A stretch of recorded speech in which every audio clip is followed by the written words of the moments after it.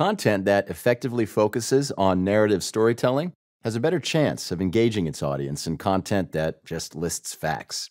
Crafting a compelling story, though, isn't enough. Who is the audience you're trying to reach? What problems do they want to solve? How can you create a marketing narrative that stands out to them and forges a connection? As you tell the story of your brand, think about what you can do to tailor your message to your potential customers. This course on connecting with your audience through stories will help you identify your target audience and their needs, understand the mindset of saturated audiences and how to reach them, and create a narrative that addresses your audience's problems.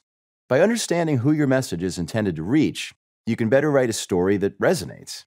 Learn how with connecting with your audience through stories.